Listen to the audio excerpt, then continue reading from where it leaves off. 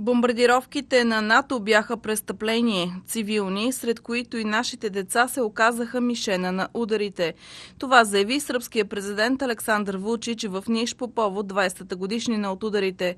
Той отбеляза, че за тези престъпления отговорни няма и до днес.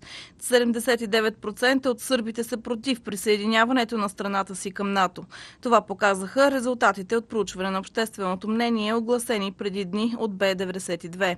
64% от запитаните не биха приели извинението на Алианса за бомбардировките през 1999 година. Проучването бе проведено от неправителствената организация Институт за европейски въпроси по повод 20-та година годишнина от началото на агресията на НАТО срещу Сърбия.